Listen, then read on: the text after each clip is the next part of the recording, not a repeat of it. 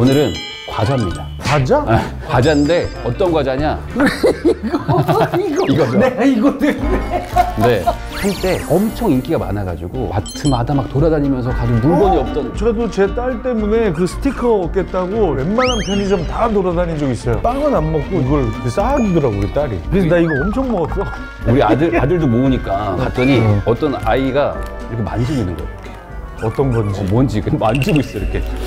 허니버터칩 한참 유행할 때는 그리고 한 봉지 사려고 네. 뒤에 과자가 12개가 붙어 있었어요. 아시죠? 과자를 이- 이만큼 사가지고 집에 갔던 기억이 있습니다. 이게 이런 게 있었어. 요거- 언제 유행한 거야? 마른한 느낌. 어, 맛있네. 음, 느낌 있네. 자, 그러면은 부동산에서 뭔가 줄 서서 기다려서 하는 거 뭐겠습니까? 청약 얘기. 아, 맞습니다. 청약이라는 거는 간단합니다. 이런 과자를 이제 살려고 이제 줄을 서는 것처럼 아파트를 사겠다는 일종의 이제 약속 이런 거라고 생각하시면 될 것 같아요. 기본적으로 이제 청약하면은 청약 통장이 따라오게 돼 있거든요. 대부분 엄마가 이래. 야, 청약 통장부터 만들어. 그렇죠. 근데 왜 만드는지 몰라. 근데 우선 만들으래.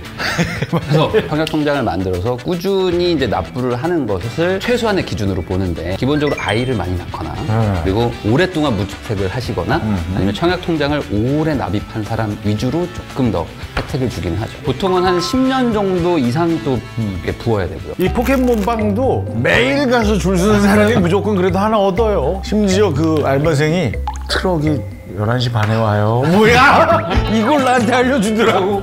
정말 매일 가셔도 매일 가, 이거 매일. 아, 이 청약이라는 게 결국에는 오래 기다려가지고 이제 물건을 사는 건데 기다리는 이유가 있을 거 아니에요. 근데 좀 싸게 살 수 있다는 거죠. 시세보다 약간 좀 싸게. 그리고 어떤 때는 분양가 상한제라고 해서 시세보다 한 20% 30% 싸게 파는 경우도 있거든요. 되면 로또다. 네. 그래서 로또 청약.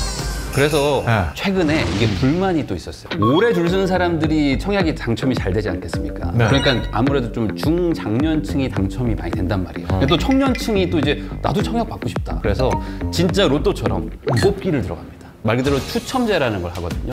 그래서 이제 젊은 층들도 로또처럼 뽑히면 나도 이제 당첨되고. 그러니까 점수가 높지 않아도 공평하게 그냥 뽑기로. 보통 많이들 사시는 이제 85제곱, 전용 면적 85제곱은 한 60% 정도는 또 추첨을 또 해요. 이런 제도들이 막 계속 바뀌어요. 그래서 예전에 청약 한창 그 불타오를 때 1년에 청약 제도가 한 10번이 바뀌어요.